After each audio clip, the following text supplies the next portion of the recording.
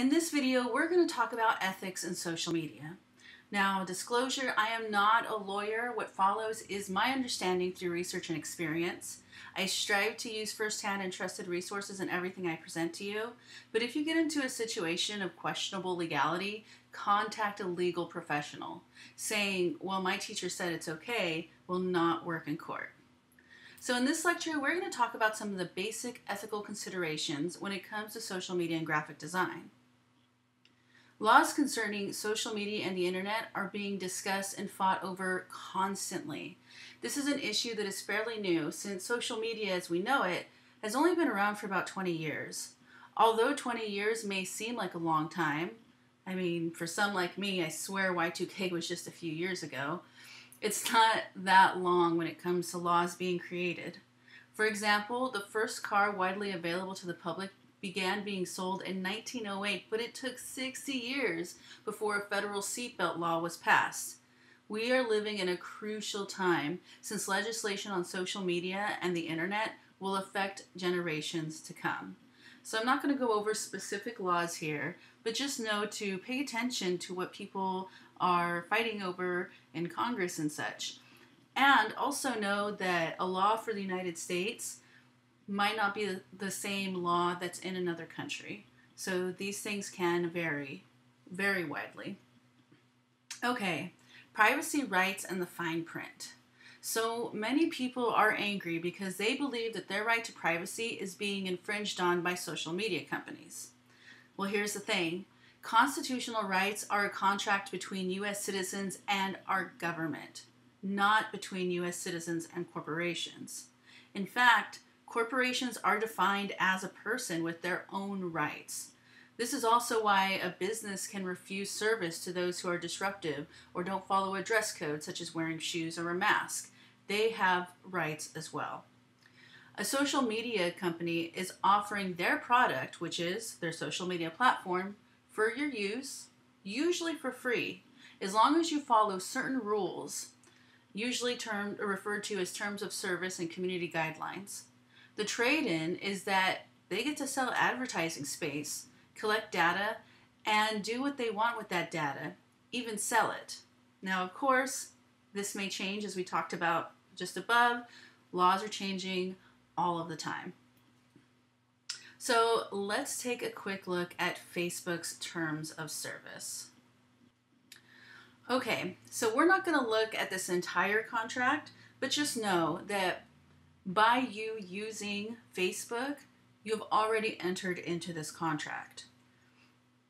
And I'm going to go down to this section on the permissions you give us.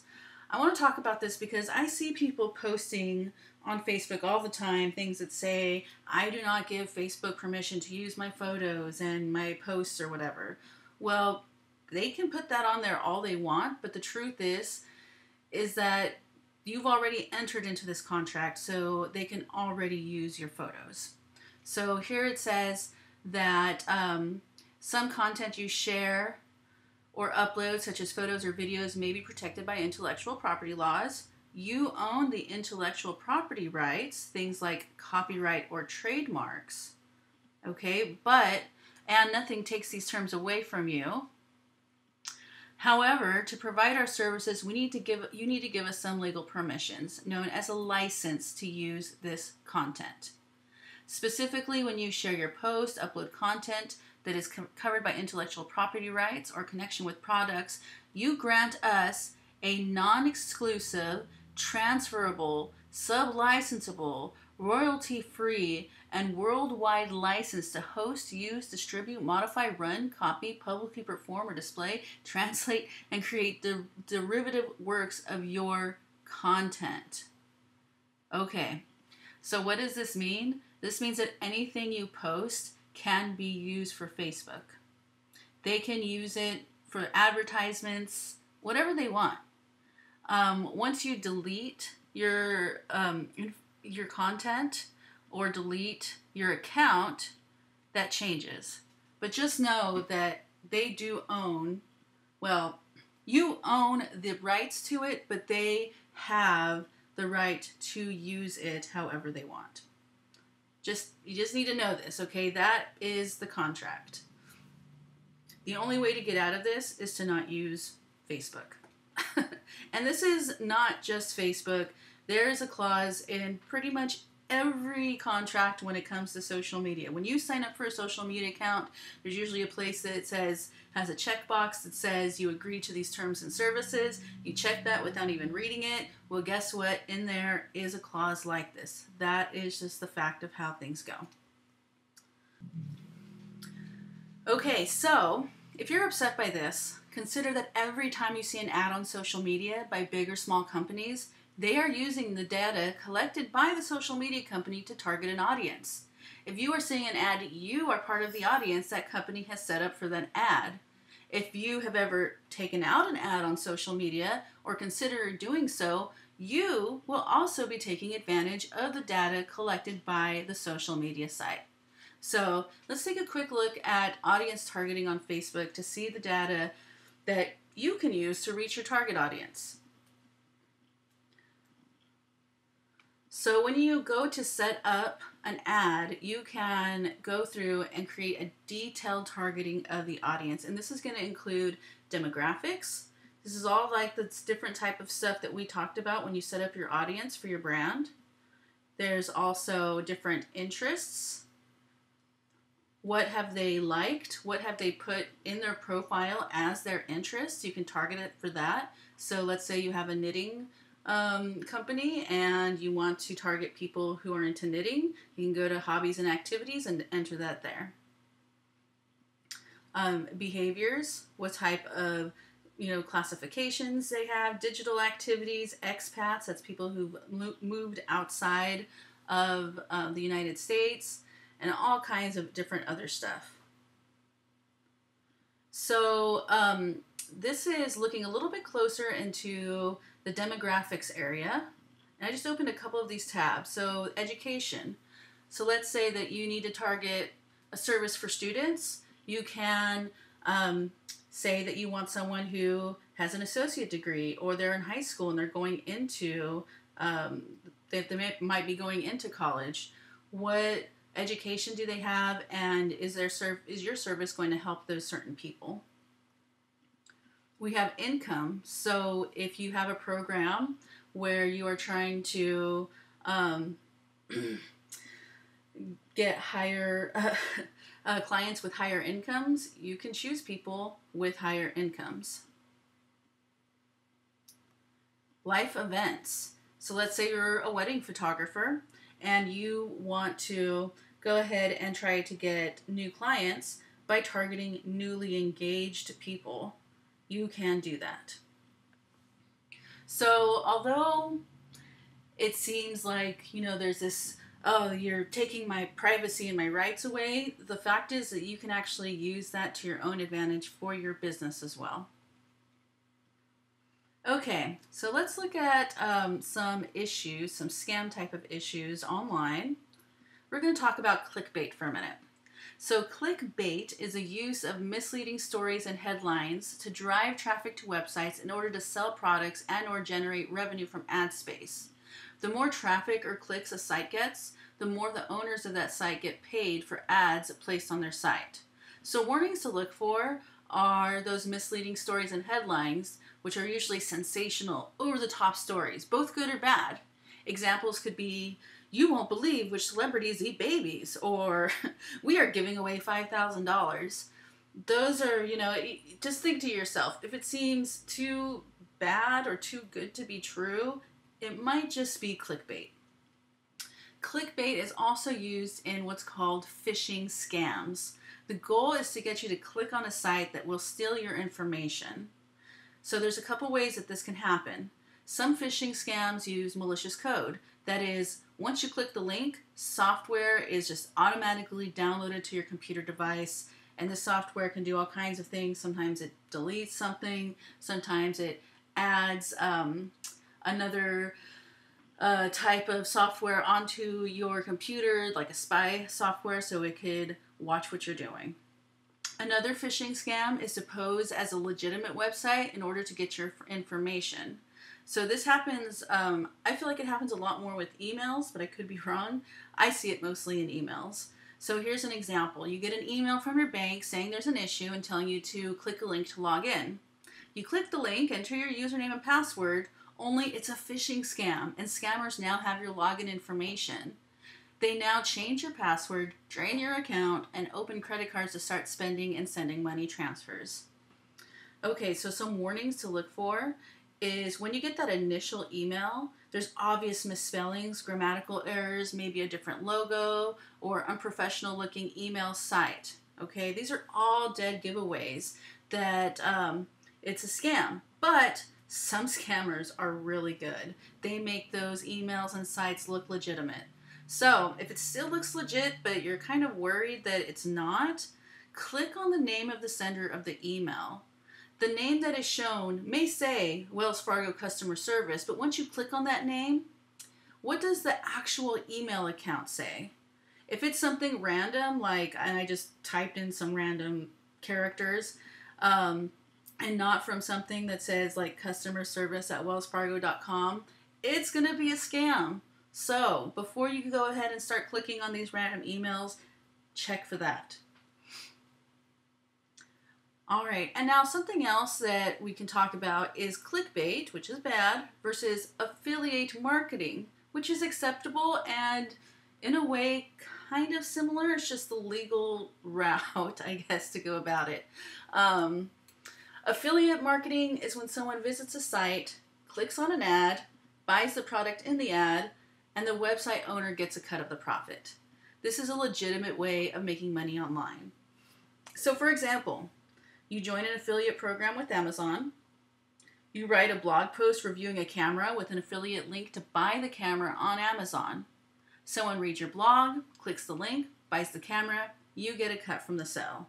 So in this case, you know, clickbait is usually using some really outlandish um, headlines to draw your attention, but this is legitimate. If you're a photographer who is legitimately um, doing a blog post reviewing a camera, then it's not a big deal. And you do have to sign up with for an affiliate program to begin doing this, um, but it is a way that a lot of online bloggers do make money. Uh, it doesn't make a huge amount of money unless you're really, really, really well known, but it is another way. All right, moving on, let's talk about fake news and misinformation. So, the spreading of inaccurate and downright false information in order to gain support for a cause is nothing new. For example, during World War II, the Office of War Information was created to create propaganda. Now, not all propaganda is necessarily bad. Some of the posters from this time are still recognizable today as patriotic symbols, such as Rosie the Riveter and Uncle Sam. But the Office of Wartime Information also created posters that used fear and racist imagery to dehumanize the Japanese. So we have a couple examples here. Don't speak the enemy language, speak American. This is the enemy, and for my photographers in the class, um, you can see that they're using monster lighting, which automatically creates a more fearful look. Um, they're showing this person as an animal instead of a human being. Um, we also have this really horrible poster um, about skinning Japanese. So, it's really sad. Um, but these are just examples to show you that fake information, false information, mis. Uh, uh, this is all stuff that's been around for a long time. This is nothing new. This dehumanization had real world effects. Internment camps were set up to house Japanese American citizens, and American soldiers sent home schools of Japanese soldiers. Note, they did not do this to German soldiers. So um, there was some propaganda, um, propaganda type of posters for Germans, but they still showed them as people. They never gave them this look that they are below humans, that they're animals. And yeah, this is a really sad time. Uh, the West Coast was big for this. And um, these Japanese people that were entered were actual American citizens. and they were in internment camps from 1942 to 1946. This photo is was printed in um, Time magazine, and it's a woman whose uh, boyfriend, I believe it was, uh, sent her home this skull from a Japanese soldier, and that's just horrible. Just think of if you've ever lost a loved one, if someone took their skull and sent it away to someone else, how horrible that would be. So, with the global reach of social media, though, propaganda, fake news, and misinformation are being used on a larger scale. Now, one of the issues with social media and algorithms is that um, they create what's called echo chambers. Since social media sites are set up to track what you interact with, it will give you more of what you want. So if I am constantly clicking on, let's say, um, camera reviews and like looking to read them, then social media sites are going to see this and start uh, showing me more camera reviews. So um, this means that if you're constantly liking posts, for example, of a certain political view, you will keep getting posts with those views.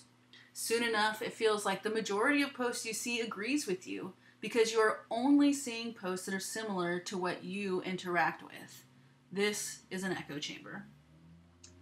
Okay, so next I want you to read this article on how to identify fake news.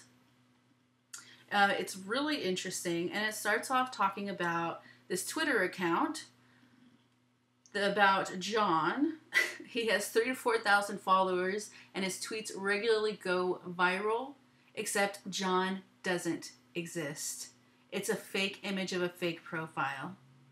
So, um, this is a huge problem. This is where fake news keeps coming in. So please go ahead and pause this video, go to the link, and read this article.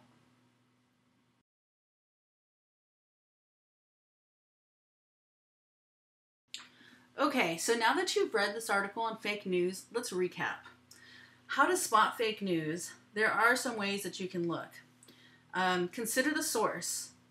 Click away from the story to investigate the site, its mission, and its contact info. If you go to a website and you go to their contact um, page and there isn't any contact information or their about page and it looks pretty iffy, it's probably fake news. Read beyond.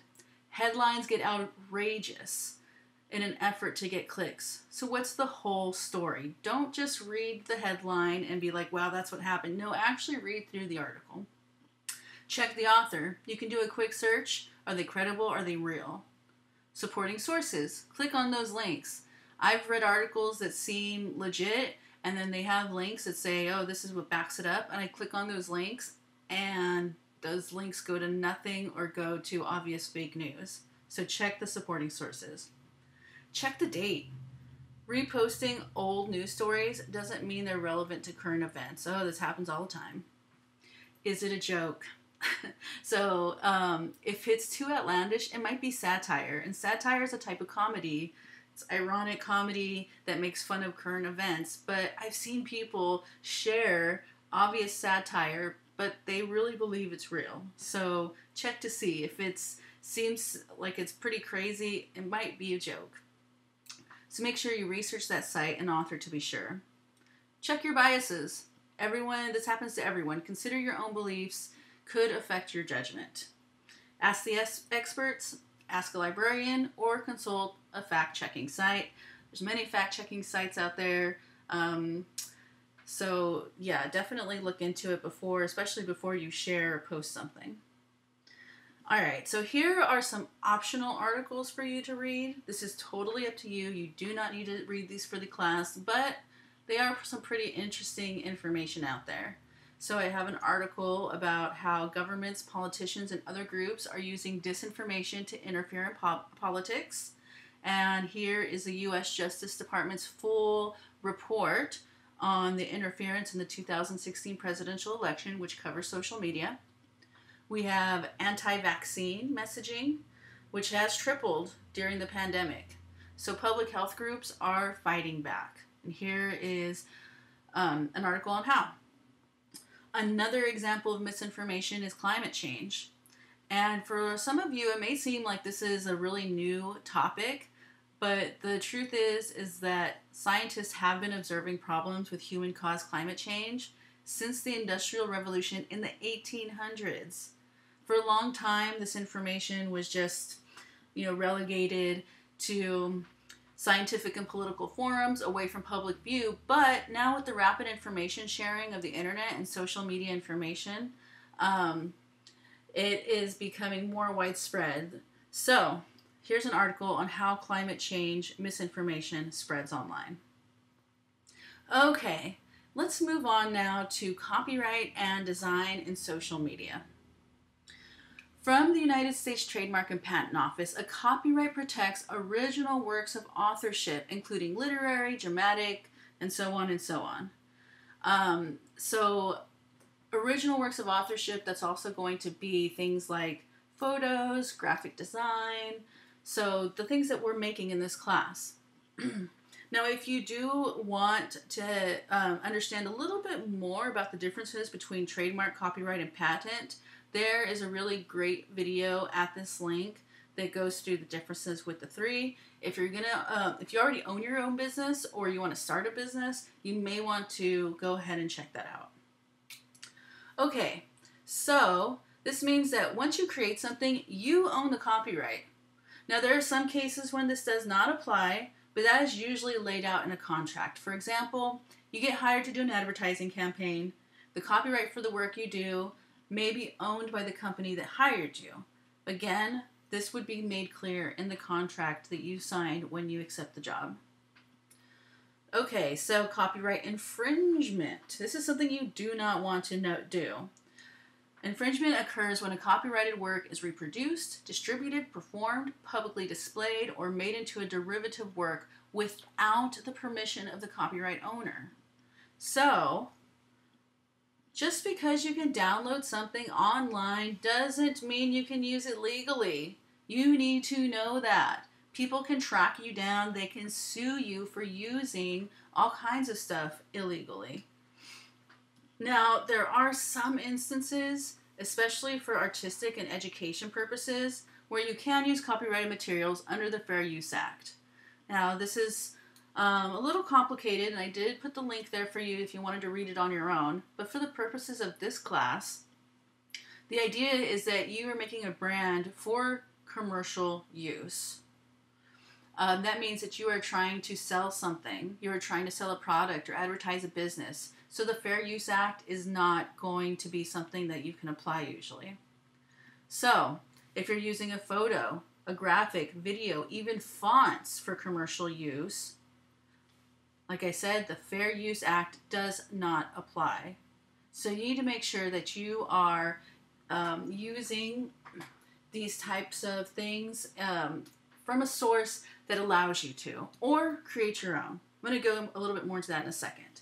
But for now, pause this video and read this article on social sharing and copyright, what brands can and can't use on social media, and then watch the video below. Once you're done, come back to this video. Okay, so I know this has been a lot of information, um, and there's a lot of issues with copyright and misinformation. So, what can you do to be ethical when creating for social media? Keep these tips in mind. When creating designs, look for usage rights.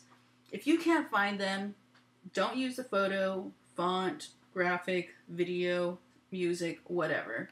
Um, it's better to be safe than sorry. And speaking of being safe, the safest approach is to make your own. Make your own content. Plus, that's just being creative, and that's kind of what you're trying to do, right? So, if you're making your own, you own the copyright. so, do it. Um, if you're creating for commercial purposes, basically you or your client is trying to sell something, you should be paying for commercial licenses for fonts, photos, graphics, etc. Or, like I said above, make it from scratch.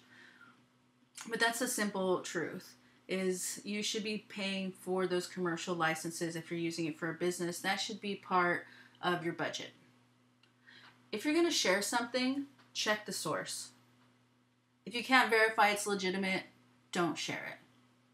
And last but not least, if you're not sure about using someone's um, someone's creative work, ask them for permission. Find out who made it, send them an email, give them a call, whatever it is, so you can know for sure and you can avoid any legal trouble.